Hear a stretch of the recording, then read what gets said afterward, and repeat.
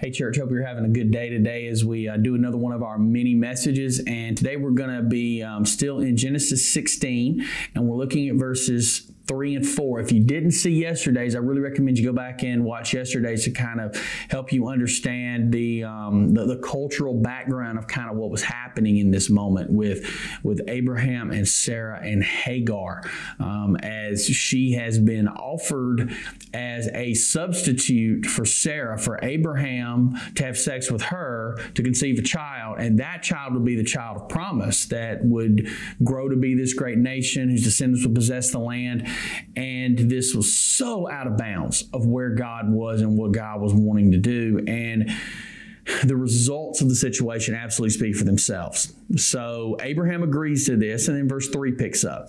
It says, So Sarah, Abraham's wife, took Hagar, the Egyptian servant, and gave her to Abraham as a wife. This happened 10 years after Abraham had settled in the land of Canaan. So Abraham had sexual relations with Hagar, and she became pregnant. When Hagar knew she was pregnant, she began to treat her mistress Sarah with contempt.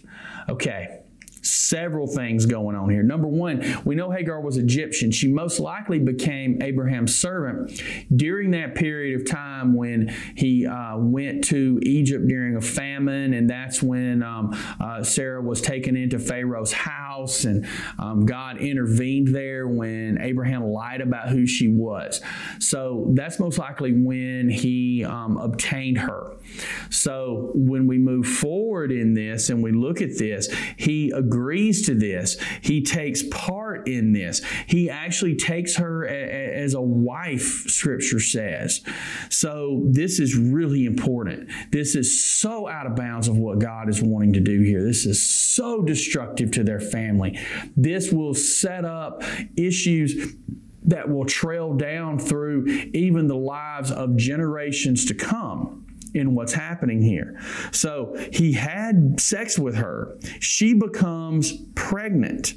So, see, what had happened was they became so discouraged. They had been waiting for years. At this point, roughly 10 years, they had been waiting from the time that God had given this promise to now. They had been waiting for this child to be born. The child is not born. So here they go, off into left field, doing their own thing, trying to figure out how to make this promise come true on their own instead of waiting on God.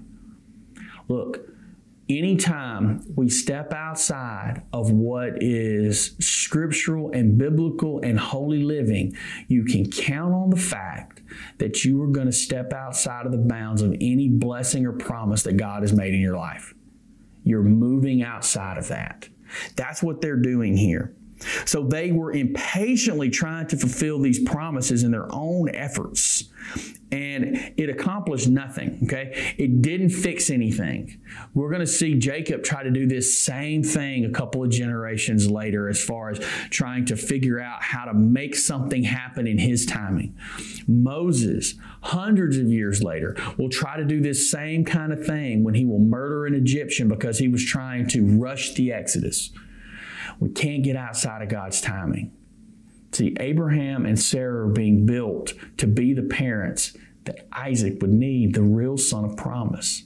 But because they stepped outside of that, it would cause nothing but issues for the rest of their lives. Come back tomorrow for our next part in this um, series of mini messages. We hope you have a blessed day. Stay safe, stay healthy.